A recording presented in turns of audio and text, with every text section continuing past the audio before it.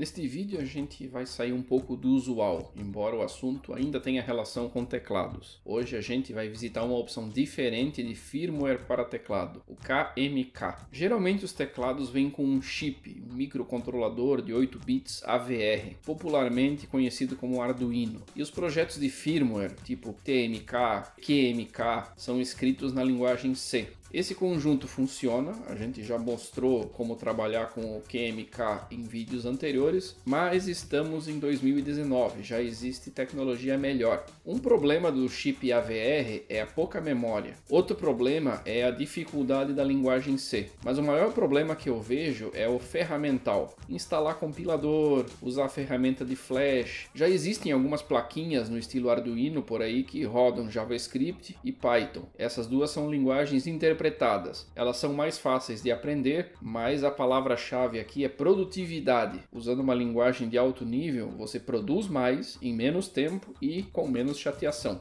O Python padrão é feito para rodar num PC. O microcontrolador é mais lento e tem muito menos memória que um PC. O MicroPython é uma versão de Python otimizada para o ambiente embarcado. Já o CircuitPython é uma versão do MicroPython mantida pela Adafruit Industries. A Adafruit vende plaquinhas no estilo Arduino e o CircuitPython é voltado para essas plaquinhas. Além de atender um interesse comercial, o CircuitPython também inova na facilidade de uso. Por exemplo, uma plaquinha plaquinha CircuitPython plugada no PC, ela aparece como se fosse um pendrive. Basta copiar o programa Python para dentro desse pendrive e o programa já começa a rodar. Para acessar a linha de comando do Python e depurar programas que estão rodando dentro da plaquinha, basta conectar com a interface USB serial da própria plaquinha. O KMK é um projeto de firmware de teclado baseado no CircuitPython. É um projeto em desenvolvimento ativo, a maturidade dele fica aí entre alfa e beta e falta alguns recursos nele ainda mas já dá para usar. O suporte oficial é limitado a apenas duas plaquinhas da Adafruit que rodam CircuitPython e possuem memória suficiente: a Feather M4 Express e a Itsy Bitsy M4 Express. Tentar usar outra plaquinha hoje é pedir para se incomodar. Por outro lado, se você quer colaborar com a portagem do KMK para outros controladores, é um prato cheio. Ainda não existe nenhum kit de teclado mecânico que suporte diretamente o KMK. No futuro futuro próximo, o projeto pretende publicar um layout de circuito impresso. O caminho mais prático para você usar o KMK num teclado de verdade, hoje, é apelar para o ferro de solda. Foi o que eu fiz. Comprei uma plaquinha Itsy Bitsy M4 e peguei um dos meus teclados que eu tinha aqui para ser uma cobaia. A escolha natural foi um keypad com uma matriz 4x5 que eu, na verdade, nunca uso. Esse tecladinho já apareceu no oitavo vídeo da primeira temporada. É um kit que originalmente não aceitava a troca do firmware, então ele sofreu um transplante de cérebro. Dessa vez fizemos um novo transplante de cérebro. Os fiozinhos da matriz do teclado foram soldados no Itsy Bitsy M4. Nesse ponto foi importante consultar a documentação para ver quais pinos dessa plaquinha podem ser usados em I/O. E aí chegou a hora da verdade, ver se essa gambiarra funciona e ver se o KMK funciona. Desenvolver um teclado no KMK é basicamente criar um arquivo dentro da pasta User Keymaps. Dentro desse arquivo, vocês especifica como é o circuito do teclado e as camadas de teclas. Nesta primeira versão, como o objetivo era fazer um teste, fizemos o mapa mais simples possível. Aqui a gente já consegue ver que a nomenclatura parece com o QMK,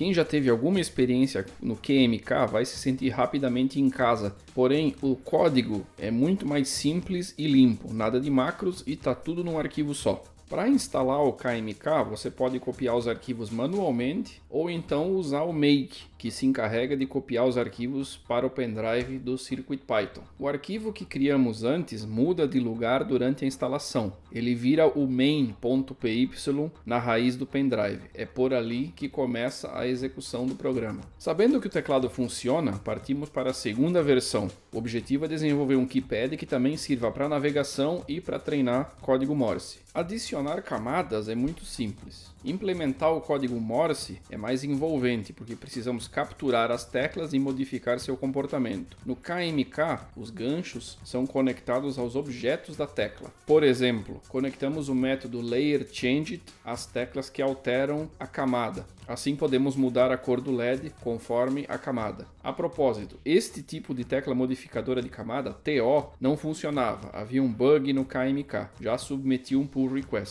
Dois outros recursos presentes no QMK, mas ausentes no KMK, fizeram falta nessa implementação do código Morse. Já fiz pull request das duas também. Se tiver curiosidade, pode olhar os detalhes no fork do meu GitHub. Isso ilustra o ponto dito antes, que o KMK ainda é um projeto jovem, tem que amadurecer, mas também é uma excelente oportunidade para quem quiser colaborar. Outra fonte de problemas é o próprio CircuitPython. Num certo momento implementei a classe Morse dentro do mesmo código fonte, mas começou a dar uns erros de sintaxe estranhos, sem sentido. Bastou jogar a classe Morse para um módulo separado que o problema desapareceu. Provavelmente algum bug do interpretador. Esse é o preço que se paga quando a gente brinca com tecnologia muito nova e imatura. Bem, esse tecladinho foi realmente uma cobaia de teste. Ele funciona como bloco numérico, mas não é algo que eu vá usar todo dia. O próximo passo é usar o KMK num teclado sério, de uso diário. O próximo kit de teclado já foi encomendado, é um 10 keyless 80%.